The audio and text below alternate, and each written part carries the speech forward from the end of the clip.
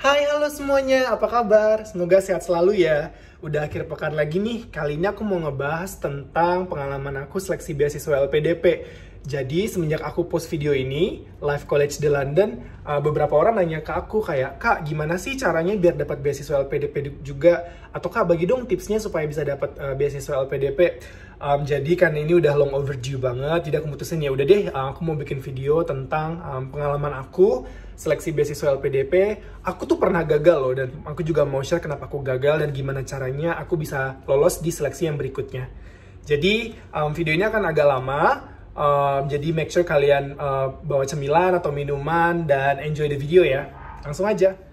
Oke, jadi hari ini aku mau ngebahas tuntas mengenai beasiswa LPDP, mulai dari apa sih beasiswa LPDP, kemudian proses seleksinya apa aja, sampai pengalaman aku pernah gagal dan lolos beasiswa LPDP. Uh, di description box di bawah, aku sediain timestamp buat kalian bisa pilih-pilih untuk jam section mana yang mau kalian tonton langsung.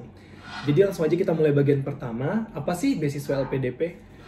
LPDP merupakan sebuah lembaga di bawah naungan Kementerian Keuangan, lembaga pengelola dana pendidikan. Nah, LPDP ini tuh dipercayai sejumlah uang yang disebut dengan dana abadi, kemudian dana abadi ini mereka investasikan sehingga return atau imbal balik dari hasil investasi ini mereka gunakan untuk membiayai atau membiayai pendidikan pendidik, pendidikan putra-putri Indonesia, khususnya ke jenjang S2 atau magister dan S3 atau doktoral. Nah, target dari penerima beasiswa LPDP ini tidak mengenal status ekonomi, berbeda dengan bidik misi untuk beasiswa di S1 yang dikhususkan untuk bagi mereka yang kurang mampu. Beasiswa LPDP ini diperuntukkan untuk putra-putri bangsa Indonesia yang memenuhi kualifikasi seleksi. LPDP sendiri ada beberapa program beasiswa nih. Yang pertama, beasiswa reguler atau untuk masyarakat umum. Yang kedua, ada beasiswa afirmasi dikhususkan untuk mereka-mereka yang berasal dari daerah afirmasi atau daerah yang berada di pinggiran Indonesia. Dan yang ketiga, beasiswa program targeted group atau untuk kelompok-kelompok targeted seperti dosen unggulan misalnya. Nah, aku ikut seleksi yang beasiswa uh, program reguler. Jadi hari ini kita akan fokus bahas beasiswa LPDP program reguler. Beasiswa LPDP reguler itu diperuntukkan untuk jenjang pendidikan S2 atau magister dan S3 atau doktoral baik dalam ataupun luar negeri. Kebetulan aku ambilnya beasiswa reguler level magister untuk program luar negeri. Menurut aku pribadi ya, LPDP itu tuh adalah salah satu beasiswa dengan komponen pembiayaan yang paling lengkap sih. Jadi dia membiayai komponen biaya pendidikan sekaligus komponen biaya pendukung. Nah, komponen biaya pendidikan ini terdiri dari misalnya uh, pendaftaran kampus pada saat kalian mau apply kampusnya. Aku waktu itu kalau nggak salah um, kena sekitar 3.500 untuk biaya pendaftarannya aja nih dan itu bisa di reimburse lagi ke LPDP-nya 100%. Jadi aku nggak ngeluarin sama sekali biaya pendaftaran. Kedua ada tuition fee ataupun SPP setiap semester atau tahunnya. Nah, aku di UCL, kalau nggak salah, tuition fee aku adalah sekitar 28.000 pound sterling atau kalau dirupiahkan sekitar 540 juta rupiah. Itu semua ditanggung sama LPDP dan aku nggak bayar sepeser pun. Jadi ketika aku dapat invoice dari tuition fee-nya, aku tinggal kasih surat um, jaminan ke LPDP dan kampus aku langsung ngurus directly ke LPDP, jadi nggak melewati aku sama sekali. Yang ketiga ada dana tunjangan buku. Nah, dana tunjangan buku ini tuh biasanya diberikan di setiap tahun ajaran baru dalam bentuk lamsam. Kalau nggak salah nilainya sebesar 10 juta rupiah. Ini dipergunakan untuk pastinya untuk beli buku setiap tahun ajaran baru gitu kan um, untuk menghindari plagiarisme atau fotokopi um, secara ilegal. Yang keempat ada dana bantuan tesis ataupun disertasi. Nah, aku karena aku jurusannya um, sains, jadi ada disertasi yang membutuhkan dana untuk melakukan penelitian gitu kan. Dan ini juga ditanggung 100% um, LPDP. Walaupun ada limitnya, kalau nggak salah sekitar 25 juta rupiah um, untuk satu disertasi. Dan yang terakhir ada dana bantuan seminar um, ataupun publikasi jurnal ilmiah karena kan ada beberapa kampus yang mensyaratkan bahwa disertasinya harus dipublish di jurnal internasional untuk sebagai syarat lulus. Nah, ini pun dibiayai oleh LPDP 100%. Nah, yang paling memukau atau yang paling aku suka adalah di bagian komponen uh, komponen biaya pendukungnya. Um, Bener-bener kita tuh tinggal bawa badan, tinggal bawa otak, sama tinggal bawa semangat aja untuk kuliah um, ke luar negeri gitu kan. Karena yang pertama dibiayai dana transportasinya. Dana transportasi ini dibiayai pulang dan pergi. Jadi pesawat aku dari Jakarta ke London pada saat pergi dan dari London ke Jakarta itu dibiayai 100% oleh LPDP. Kedua, um, ada dana aplikasi visa ataupun um, resident permit. Jadi kan kalau kita sebagai student itu kita butuh um, student visa yang um, periodenya lumayan lama. Kalau aku dapatnya satu setengah tahun gitu kan, dan itu biayanya nggak murah. Kalau nggak salah sekitar 11 atau 12 juta kalau dirupiahkan. Dan itu langsung di langsung bisa di reimburse ke LPDP. Jadi kita nggak bayar sama sekali. Ketiga ada dana uh, asuransi kesehatan. Ini merupakan salah satu syarat sebagai pemegang student visa dan itu juga dibayarkan oleh LPDP. Um, keempat ada komponen dana hidup bulanan. Ini um, yang menurut aku yang paling membantu sih dari beasiswa LPDP. Jadi setiap penerima beasiswa LPDP menerima jumlah yang berbeda-beda tergantung negara dan kota mereka studi. Aku kuliah di London di United Kingdom itu aku terimanya 1275 pound sterling per bulannya, tapi ditransfer oleh LPDP um, setiap tiga bulannya. Jadi tinggal dikali aja. Um, setiap tiga bulan sekali aku dapat 1275 pound sterling dikali tiga. Jadi kurang lebih sebulannya aku dapat 24 sampai 25 juta rupiah tergantung kurs. Nah ini um, aku yang hidupnya di London dengan biaya hidup yang lumayan tinggi ya, itu pun nggak habis. Aku bisa save kurang lebih sekitar um, 300 sampai 500 pound sebulannya tergantung aku hemat kayak gimana. Dan lumayan kan, maksudnya tabungan itu tuh bisa kalian gunakan lagi untuk um, I don't know nanti setelah kalian balik ke Indonesia kalau misalnya kalian mau bikin startup dan sebagainya. Ada dana kedatangan. Nah dana kedatangan ini kalau nggak salah aku terimanya 10 juta rupiah itu dibayarkan pada saat pertama kali nih kita nyampe di negara ataupun kota tujuan. Dana kedatangan itu di, dipergunakan untuk settle nih settlement cost gitu kan. Kalau misalnya kalian um, sewa apartemen baru, kalian butuh bed cover, kalian butuh cleanings dan sebagainya itu digunakan untuk settlement cost kalian. Um, Nah, untuk untuk mereka yang apply program doktoral itu juga ada dana tunjangan untuk keluarga. Jadi misalnya yang udah berkeluarga, punya anak, uh, punya suami atau istri ataupun anak, setelah beberapa bulan masa studinya, anak atau istri atau suaminya itu bisa dibawa ke daerah uh, di ke kota kedatangannya dan mereka juga dapat tunjangan nih tiap bulannya dari LPDP. Jadi um, si penerima beasiswanya ini tuh tidak terbebani dengan kedatangan si keluarganya dan juga bisa fokus karena keluarganya tidak jauh dari mereka. Sama yang terakhir ada dana darurat, um, no komut ya. Jadi ini tuh adalah dana yang ketika ada emergency terjadi pada kalian, misalnya kalian sakit keras, ataupun ada um, immediate family kalian yang uh, berpulang ataupun meninggal dunia. Jadi itu bisa di request on ad hoc basis. Lalu proses seleksi beasiswa LPDP. Aku sendiri itu ikut seleksinya batch 3 di tahun 2016 yang aku gagal. Kemudian aku coba lagi di batch 4-nya di tahun 2016 ada perbedaan ada sedikit perbedaan dari seleksi um, beasiswa LPDP di tahun 2016 sama sekarang. Tapi aku jelasin dulu ya yang seleksi di tahun 2016 nanti aku jelasin bedanya apa dengan tahun 2019. Nah, seleksi pertama dimulai dari seleksi berkas. Ada beberapa berkas yang harus kita submit. Yang pertama pasti ada formulir online yang kita isi di beasiswa uh, di website beasiswa LPDP-nya. Kemudian waktu tahun aku itu ada esai kontribusiku untuk Indonesia. Nah, di sini esainya menceritakan um, apa sih nanti rencana kalian, rencana konkret kita ketika kita setelah ketika kita telah menamatkan atau menyelesaikan studi dan kembali ke Indonesia. Yang kedua ada esai rencana kuliah. Esai rencana kuliah ini mencakup um, jurusan apa yang mau kita ambil, mata kuliah apa atau modul apa aja mau kita ambil, kemudian berapa lama kita targetkan, targetkan untuk lulus sampai ke um, rencana tesis ataupun disertasi yang mau kita gunakan serta relevansinya dari semua itu untuk kontribusi kita tadi yang kita udah jelaskan di esai kontribusiku untuk Indonesia. Nah, setahu aku di tahun 2019 esai kontribusiku untuk Indonesia udah nggak ada, jadi cukup ke um, esai rencana kuliah aja. Kemudian berkas-berkas pendukung seperti SKCK, surat berbadan sehat dan bebas TB karena um, untuk apply aplikan visa di United, United Kingdom misalnya atau Inggris um, surat bebas TB ini merupakan syarat-syarat mutlak untuk mendapatkan visa student. Jadi karena Indonesia um, persentase pengidap tuberculosis yang lumayan tinggi, jadi pemerintah Inggris jaga-jaga um, mereka yang dapat student visa harus bebas TB.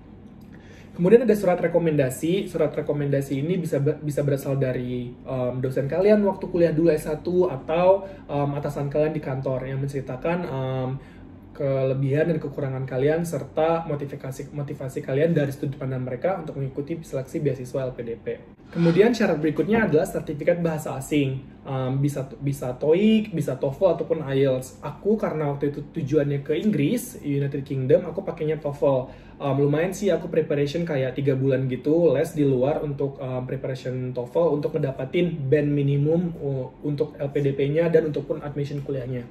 Nah, tips aku jangan berani-berani untuk memalsukan dokumen. Di tahun 2016 di batch 3 pas aku ikut, pada saat kita ada namanya proses verifikasi dokumen. Nanti dokumen aslinya kita bawa pada saat um, kita dipanggil untuk interview. Nah, di proses verifikasi dokumen ini, tim LPDP akan memeriksa apakah benar dokumen yang kalian submit, terutama sertifikat bahasa asing tadi ya, um, asli atau palsu. Karena di waktu aku itu ada salah satu aplikan yang kedapatan memalsukan um, sertifikat bahasa asingnya, sehingga on the spot pada saat itu juga mereka langsung di blacklist sama LPDP dan mereka nggak bisa dan dia orang bersangkutan ini udah nggak bisa lagi um, ikut LPDP um, untuk waktu yang akan datang mungkin selamanya. Sama yang terakhir walaupun ini nggak diwajibkan tapi akan me, apa ya namanya ya, lebih meyakinkan kesiapan kalian untuk dapat beasiswa ya, yaitu adalah letter of acceptance atau LOA ini adalah surat dari kampus tujuan kalian yang menyatakan bahwa kalian sebenarnya sudah diterima Nah, ada ju ada dua jenis LOA. Yang pertama ada LOA conditional atau bersyarat dan LOA unconditional atau tanpa syarat. Yang yang dibutuhkan oleh LPDP adalah LOA unconditional tanpa syarat. Nah, yang conditional ini biasanya kayak ada satu dokumen yang mereka harus verified, misalnya kayak kalian harus submit um, skor GMAT, GRE, ataupun sertifikat bahasa asing. Tapi yang kita butuhkan adalah LOA unconditional. Um, dengan menunjukkan LOA unconditional ini, berarti kita sudah melewati satu step lagi um, bahwa kita siap untuk melanjutkan S2 karena kita udah dapat um, universitasnya dan mereka udah terima kita kayak gitu. Nah setelah semua berkas tadi disubmit, selama waktu sekitar satu bulan nanti akan menerima pengumuman apakah kita dilanjutkan ke tahap berikutnya atau enggak um, yaitu tahap seleksi substansif.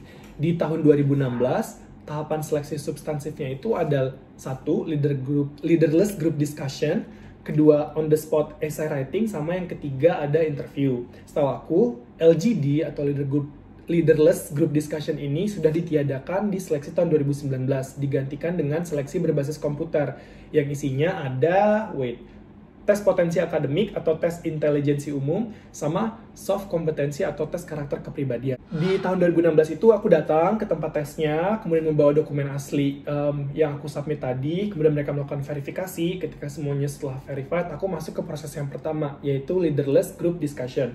Nah, LGD ini mirip-mirip nih kayak FGD, tapi kalau FGD kan biasanya ada satu leader ya, atau ada satu moderator yang memoderasi diskusinya. Di LGD ini nggak ada, jadi semua orang itu perannya sama, um, diharapkan aktif dan berkontribusi di dalam diskusi tersebut tanpa mendominasi ataupun menjadi minority. Jadi itu kita harus cari sweet spotnya, nggak terlalu nggak terlalu mendominasi, tapi juga nggak terlalu pasif yang paling susahnya ketika ada um, konflik of interest atau kayak perbedaan pendapat dalam diskusi itu. Gimana caranya kita nggak ngotot, gimana caranya itu kita bisa menyampaikan um, apa namanya um, ide pikiran kita kepada orang lain dengan manner yang bagus, politely begitu.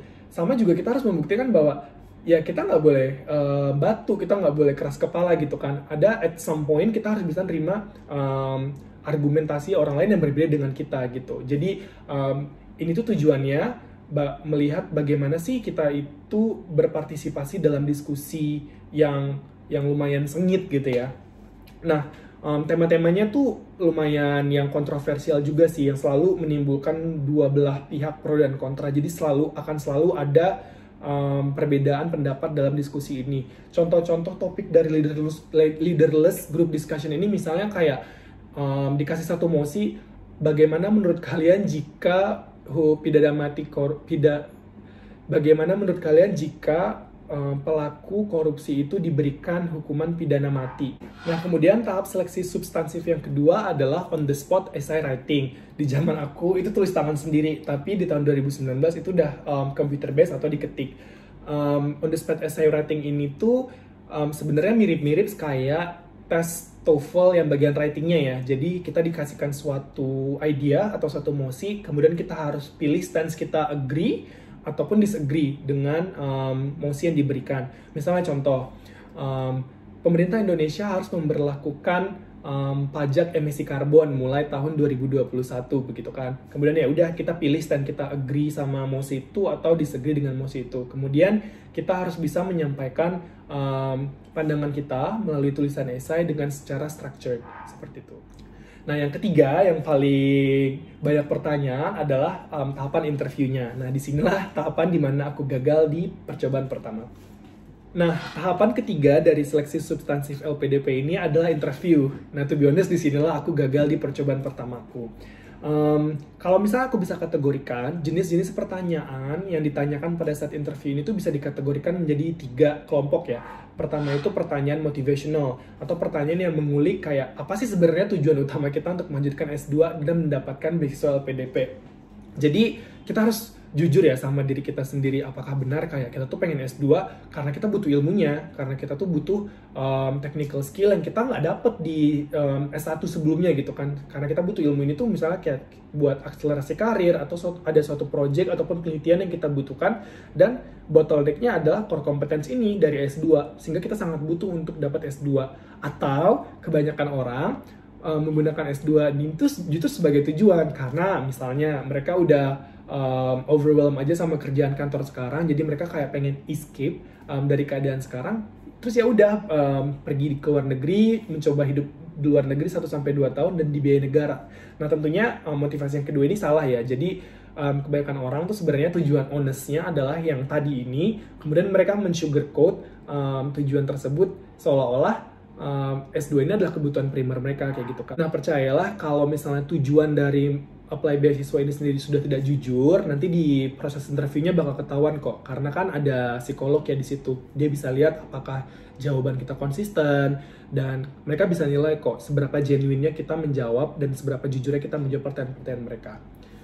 Um, pertanyaan lainnya kayak apa sih rencana kalian ketika nanti sudah pulang ke Indonesia? Apakah kalian mau kerja di kementerian misalnya, atau melakukan suatu proyek penelitian untuk energi terbarukan, atau bahkan kalian mau bikin startup baru yang bisa meningkatkan ekonomi Indonesia? Jenis pertanyaan kedua adalah pertanyaan tentang kesiapan kita nih untuk kuliah di S2 gitu kan.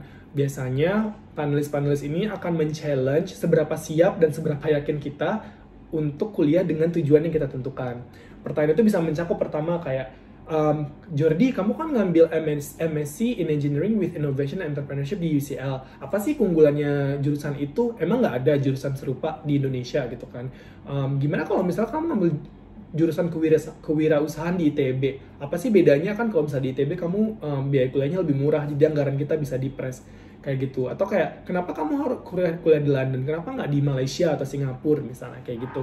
Ini tuh sangat menguji kita apakah kita udah benar-benar yakin itu adalah juru itu adalah universitas tujuan dan negara yang terbaik nih buat rencana kita gitu kan? Pastinya untuk bisa menjawab pertanyaan ini dengan matang kita tuh harus background research dulu sebelumnya. Kita juga harus kita sendiri juga harus yakin bahwa ya UCL MSc Engineering with Entrepreneurship adalah jurusan yang menurut saya terbaik dengan alasan misalnya kurikulumnya cuma ada di, di kurikulumnya cuma ada di negara itu. Kemudian University College London itu mereka bekerja sama dengan startup-startup di sekitarnya sehingga kita dapat exposure um, expertise yang langsung ataupun direct dan semacamnya dan. Sama pertanyaan yang ketiga ini pertanyaan yang mencakup tentang behavioral kita atau kayak sifat dan kepribadian kita sendiri. Ini tuh uh, pertanyaannya sangat psychological ya bentuk pertanyaannya kayak apa sih yang kamu lakukan di waktu senggang gitu atau kayak lingkungan seperti apa yang kamu suka atau lingkungan seperti apa yang kamu tidak suka kayak gitu. Nah, tujuan tujuannya adalah me me mencari tahu apakah kita siap untuk masuk ke lingkungan baru yang bu mungkin budaya sangat berbeda dengan budaya di Indonesia. Nah, terus aku waktu di batch 3 tahun 2016 gagalnya karena apa gitu kan. Jujur, um, aku sangat well prepared untuk seleksi LPDP bahkan untuk pertama kali aku apply gitu kan aku sampai nanya-nanya sama temen-temen yang pernah lulus dan pernah gagal di uh, seleksi sebelum-sebelumnya biar bisa belajar kayak apa aja sih sebenarnya proses-prosesnya. Sampai aku tuh pernah dikasih sama temen kayak um, rekap pertanyaan rekap list pertanyaan-pertanyaan yang biasanya ditanya sama LPDP um, ini tuh disclaimer dulu ya. Jadi ini tuh aku nggak tahu sumbernya, sumbernya tidak terpercaya, cuman kurang lebih pertanyaan ada yang sama dan ada pun yang tidak um, aku masukin um, screenshot dari pertanyaannya um, sekarang ya.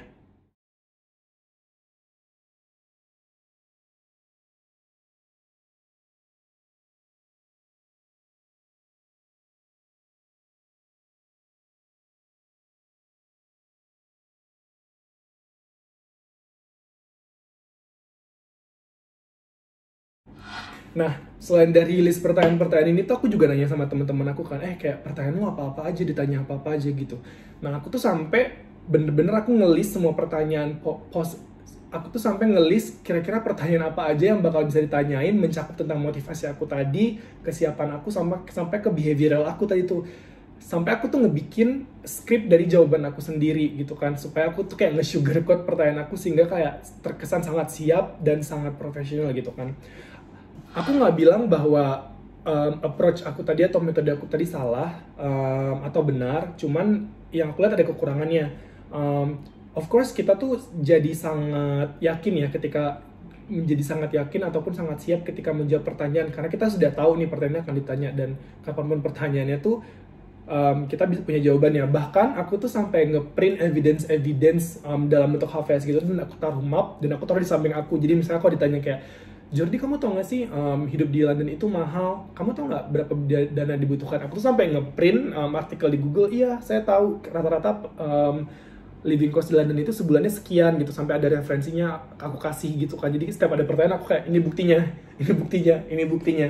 Nah kelemahannya itu adalah ya interviewernya itu jadi tahu kayak ini anak tuh pertanyaannya tuh udah di scripted banget gitu kan. Jadi tuh nggak honest dan nggak genuine gitu jadi apa pun pertanyaan um, yang berbau teknikal dan kesiapan yang pokoknya berbau um, itu ya motivasi dan kesiapan itu aku udah sangat ready, sangat prepared pada saat itu. Sehingga kayak su untuk para interviewernya sulit mencari celah di mana aku tuh nggak um, siap tentang kesiapan ataupun rencana studi aku. Nah, meskipun aku tuh sangat well prepared sama semua jenis pertanyaan, hampir semua pertanyaan yang ditanyakan oleh interviewer itu tuh aku udah tahu nih ini bakal ditanyakan karena aku punya list pertanyaan-pertanyaan tersebut kan. Tapi nggak dipungkiri, interviewernya juga sadar kalau aku tuh udah sangat mempersiapkan jawaban aku yang scripted dan polished dan sugar coated gitu kan, sehingga udah nggak genuine lagi kedengerannya gitu. Sehingga uh, mereka udah berhenti nih nanyain pertanyaan yang berbau tentang motivational sama kesiapan. Karena pertanyaan yang menjurus ke dua kategori itu tuh aku bisa jawab um, dengan spontan dan dengan sangat um, apa namanya? Dan dengan sangat piawai begitu.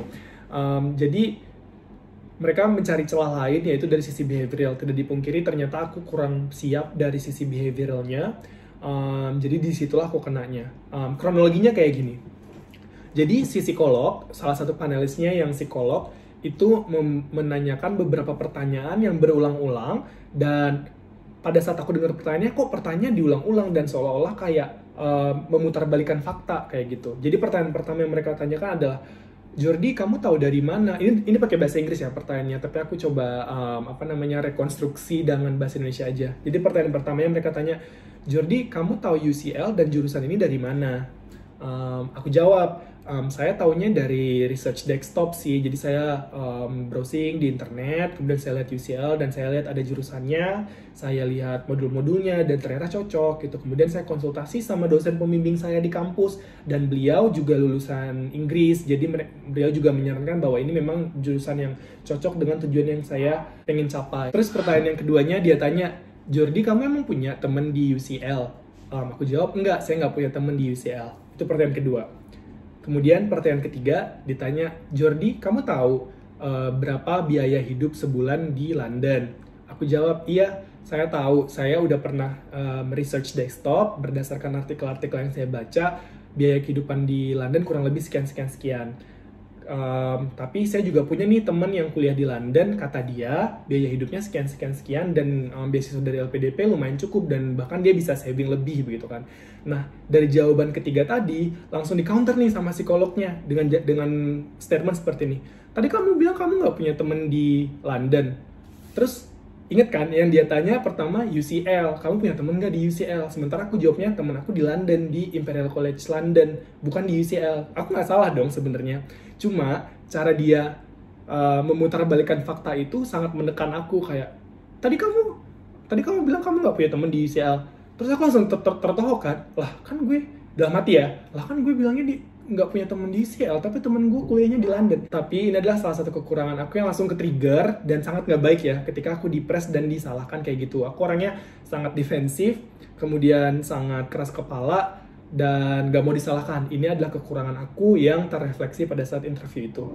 Jadi pada saat dibilang sama psikolognya, lah tadi kamu bukannya bilang kamu nggak punya teman di London aku merasa nggak salah dong aku langsung kayak ah, kan tadi ditanyanya di UCL sementara teman saya kuliahnya di London itu tuh ngomongnya ngotot kayak gitu dan dari situ dia udah psikolognya udah nebak oh nih anak tuh keras kepala nggak bisa disalahkan dan sangat defensif nah sebenarnya sebenarnya itu kan sesuatu yang bisa dilatih kan cuma kata temenku yang dari dunia psikolog uh, bahaya nih ketika seseorang tidak tahu kekurangannya apa dan tidak berusaha untuk mengimprove kekurangannya sendiri nah aku pada saat interview itu um, aku kayaknya tidak tahu bahwa itu adalah kekurangan aku dan aku tidak mencoba mengsupres kekurangan tersebut pada saat ditekan pada saat interview itu. Jadi membludak-bludak gitu kan. Jadi pada saat itu udah pertanyaannya itu di si psikolognya jadi bad cop. Um, semua jenis pertanyaannya itu tuh ngepres dan nyalahin aku sehingga aku makin tertekan, makin tertekan, makin tertekan dan jadi kayak makin um, membludak-bludak gitu jawabnya jadi kayak makin defensive dan makin keras kepala. Nah dari situ um, interviewnya went very bad dan um, pada saat keluar, keluar ruangan interview aku langsung kayak ada perasaan kesel, jengkel gitu kan dan aku kayak kenapa sih kok nanyanya gitu padahal yang nanya lain uh, gue jawabnya ini dia dimuter balikin fakta kayak gitu gitu kan. Nah dari situ aku udah tahu kayak oh ini uh, it didn't work nih kayak gitu. Um, terus ya udah aku dapat kesimpulan itu setelah berminggu-minggu konsultasi sama teman aku yang dengan jurusan psikolog ya sampai bawahnya aku tahu kayak oh iya itu salah satu kekurangan yang harus aku perbaiki jika aku mau lanjut ke proses seleksi tahap selanjutnya. Jadi um, udah nih aku uh, selesai selesai proses seleksi kemudian aku tunggu another month another month gitu kan hasilnya. Dan jelas aja aku nggak lolos di interview aku nggak lolos dengan statusnya um, gagal di seleksi substansi. Sampai aku minta um, skornya ke si penyelenggara seleksinya karena kan kita bisa minta ya kayak um, skor kita berapa sih pada saat seleksi substansif itu. Dan ternyata benar um, skor aku tuh sangat rendah di bagian interviewnya. LGD-nya bagus, essay on the spot-nya bagus cuman di interviewnya uh, ada salah. Nah salahnya karena apa? Kita nggak bisa konfirmasi mereka juga nggak bisa konfirmasi detail kan karena itu emang nggak dibuka. Tapi aku tahu salahnya um, di interview dan menurut aku kesalahannya itu adalah gara-gara cara aku menjawab pertanyaan ketika aku ditekan dan ketika aku disalahkan walaupun aku nggak salah sehingga ya udah ini butuh kayak waktu aku untuk improve. Um, aku konsultasi sama teman aku yang basisnya psikolog. Gimana sih caranya uh, untuk menyelesaikan atau mengimprove masalah ini gitu kan. Sehingga aku kayak di interview di proses seleksi berikutnya jadi lebih siap. Salah satu tips dari temen aku adalah um, kayak kekurangan itu tuh nggak bisa instantly diperbaikin kan. Itu it, it takes time buat untuk diperbaiki dan bahkan kadang nggak nggak langsung hilang begitu. Jadi tahapan pertama adalah akui kalau kalian punya kekurangan itu, embrace your weakness. Terus kedua, um, sebisa mungkin tetap selalu um, sadar bahwa itu ada kekurangan kita dan ketika um, kekurangan itu muncul kembali, kita coba surprise lagi supaya nggak um, berlebih-lebihan kayak gitu. Sehingga um, ya udah, um, aku beranikan diri untuk apply di batch 4 langsung ketika batch 3 tutup selesai aku langsung apply di batch 4 aku ulangi lagi prosesnya seperti biasa tidak ada yang aku ganti. Semua berkas yang sama dari batch 3 aku sampai lagi ke batch 4 um, bahkan esai aku pun um, yang dua itu aku submit sama persis tidak ada yang aku edit. Um, aku ikutin LGD-nya lagi aku ikutin essay on the spot-nya lagi sampai aku ke tahap interviewnya lagi di tahap interviewnya um, ternyata sangat singkat yang di um, batch 4 ini um, sama panelisnya ada tiga, satunya psikolog, duanya profesor, satunya kalau nggak salah dari teknik arsitektur UI. Um, pertanyaan biasa, um, behavioral questions biasa dan motivational yang tadinya ditanyakan juga di batch 3, ditanyakan lagi di batch 4, sampai akhirnya di tengah-tengah interview, um, psikolognya nanya, kamu pernah coba batch 3 ya tahun 2016, kenapa gagal? Um, di situ aku kayak freeze sekitar 5 detik untuk memikirkan kayak gimana ya cara jawabnya. Jadi aku mutusin aja jawab dengan sangat jujur. Aku bilang, iya saya gagal di uh, batch 3. Mungkin karena waktu itu saya kurang siap secara emosi um, dan kepribadian saya juga mungkin ada immature, saya mungkin sangat defensif dan keras kepala. Um, mungkin itu membuat kayak um, salah satu konsiderasi dari panelisnya untuk tidak meloloskan saya pada saat interview itu. Itu jawaban aku kurang lebih ya sampai si psikolognya nanya lagi terus sekarang kelemahannya masih ada apa enggak? Kok aku freeze lagi for another 3 to 5 second gitu kalau aku jawab udah nggak ada ntar dites lagi ditekan-tekan lagi kan. Aku jawab jujur aja iya masih ada. Tapi kali ini um, saya udah aware kalau saya punya kekurangan itu um, kadang kalau misalnya ditekan masih bisa kayak gitu lagi tapi sebisa mungkin saya coba kontrol untuk lebih dewasa kayak gitu the moment the second I finish answering that questions aku bisa lihat ekspresi dari si psikolognya ini tuh kayak kayak puas gitu kayak tersenyum. Terus dia langsung nulis panjang di dalam catatan um, interviewnya itu tanpa ngomong apa-apa lagi. Dan setelah aku jawab pertanyaan itu tuh semua pertanyaan sangat smooth dan kayak interview panelis satu, panelis dua, panelis tiga tuh kayak ya udah sangat antusias gitu loh kayak sama rencana studi aku kayak oh iya kamu mau kuliah apa nanti? Uh, oh kamu pernah ikut uh, sekolah master di Depok kayak gitu loh. Jadi um, ketika aku jawab jujur mereka pun puas gitu kan dan kayak oh ini anak tuh nggak dipoles um, apa namanya uh, pertanyaan jawaban jawabannya dan dia being genuine as he is gitu kan. Dan ya udah um, akhirnya proses interview selesai um, dan pada saat selesai proses interview itu tuh aku sangat lega gitu loh keluar ruangan aku sangat lega. Terus aku kayak optimis kalau kalian bisa kan ngebedain kayak um, if the interview did well atau did not gitu kan. Dan pada saat yang batch 4 itu aku aku ngerasain kayak oh aku tadi kayaknya bisa deh interviewnya gitu. Aku tenang terus um, aku keluar. Kemudian beberapa minggu kemudian aku terima um, email bahwa aku diterima di beasiswa LPDP batch 4 kayak gitu Nah, jadi untuk nge-summarize-nya, um, tips and trick buat interview ya khususnya, aku mungkin bisa um, summarize ke empat hal. Yang pertama itu adalah jujur. Jadi, um, jujur dengan diri sendiri bahwa tujuan kuliah kita itu tuh memang murni buat memperkaya ilmu pengetahuan dan nantinya berbakti buat negara, bukan buat escape plan atau mau hidup di luar negeri enak-enak setahun di BN pemerintah, jangan kayak gitu um, ketika kita jujur orang lain juga bisa ngelihat kalau niat kita ini beneran tulus atau enggak kayak gitu. Um, mempersiapkan jawaban boleh sehingga kita lebih siap aja gitu kan. Um, jawabannya terstruktur gitu. Tapi saran aku jangan di script kayak aku jangan dipoles um, apa adanya aja gitu kan. Um, interviewernya juga profesional mereka bisa lihat bahwa ini jawabannya itu dipoles atau di scripted atau ini memang jawaban yang genuine.